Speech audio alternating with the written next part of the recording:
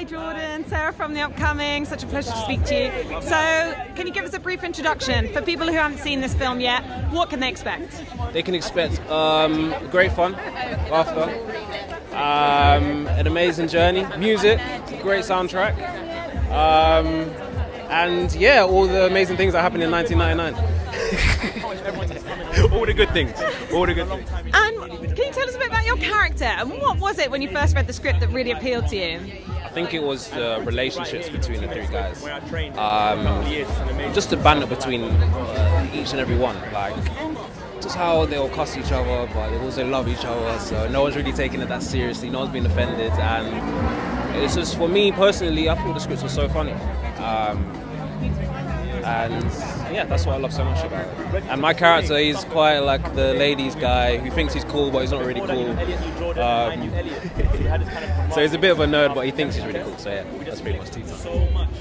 And Reggie Yates, I mean, people know his name's a household name, but known for doing lots of other stuff, documentaries, TV, radio.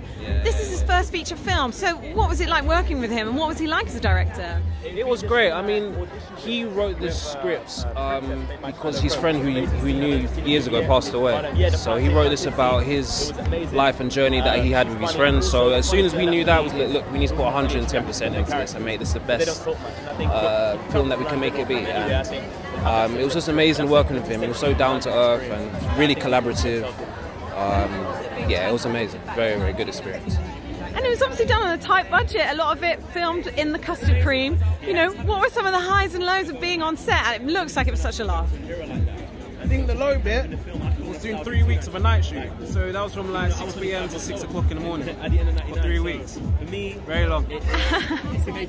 but um, I think the, the highlight was just spending my time with Reda and Elliot. I think spending all that time was great. Um, on our boys for life, so yeah, it was so much fun. And what is so great about going back to this very particular time in the 90s? I mean, the grime and garage scene, but you know, just like the, the sort of paraphernalia like Tamagotchis, Yeah, the turn yeah, of yeah. millennium. But it feels very nostalgic right now. What do you think, you know, we can t- draw from bit going back in time to then? I think the way that technology was back then, because now it's kind of like everyone's on their phones or on their laptops and stuff like that. It's, it's kind of nice to see, you know, not having technology all the time. So I think I'll take that uh, And you know, it's got an almost all black and Asian cast. What was so what's so important about that representation, particularly if it's a film set in London? Oh, 100%. Because London's so multicultural, you know what I mean? And it's nice to see people like us on the big screen and um, just see a movie like this as well.